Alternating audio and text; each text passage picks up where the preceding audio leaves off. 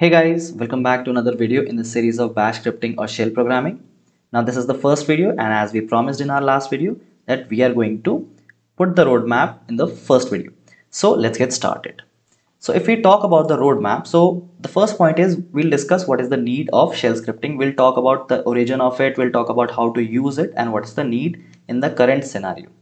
Then we'll move on to what is shell, what is bash and how they came into picture and what do we have to do about it.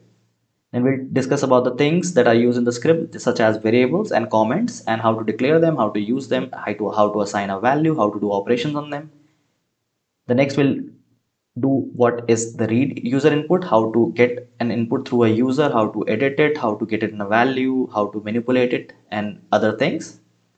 Then we'll teach how to pass arguments to a bash script. There are two ways to do it. There are passing it in a bash script and passing to the other bash script how to do that. So there are the multiple way to there are multiple ways to do it. We'll talk about each and everything. And we talk about the if statement there are multiple options for that. If elif else if and there are many languages that have these kinds of statements. We'll talk about that. We'll write a few programs few scripts and we'll test how to do the condition matching. So we'll uh, study all this in if statement then the file test operators uh, how to do operations on some kind of files and how to create delete and stuff and we'll talk in very much detail for them. Then how to append outputs to the end of the file that that's very interesting topic we are going to talk once in our uh, with a separate dedicated video.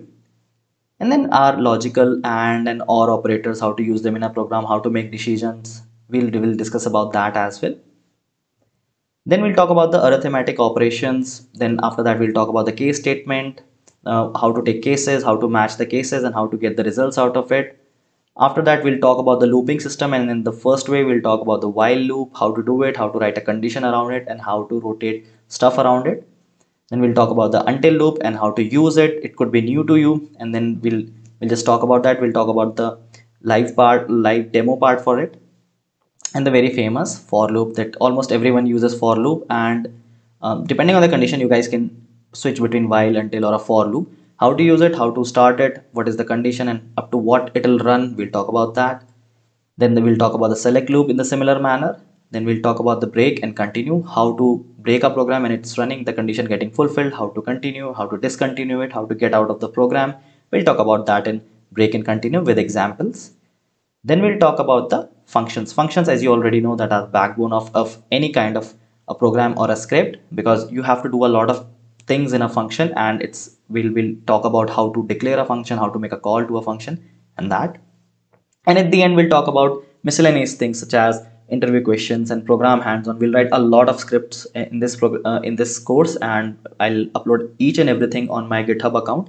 I'll write in the description box. You can get get it from there or you can write your own code and you can put in your own repository. And just just make sure that you do hands-on because uh, things are going to be asked in an interview and I don't want you to be uh, new to new to all of this stuff. So uh, whatever topics we have discussed in today's roadmap is going to have a separate dedicated video and all of them will be uh, taken in consideration with examples. So so that you cannot forget what is happening over there and once we discuss the theory we'll do the practical part. So it will be easier for you to understand. So i hope uh, these are the points we are going to talk about and there would be no particular order. We'll pick something. We'll go in line by line so that you guys can understand one by one and do not get confused. So if i have missed anything feel free to comment below and we can address that. So thanks guys and if there is anything feel free to comment below and we'll uh, take care of that. So i'll see you in the next video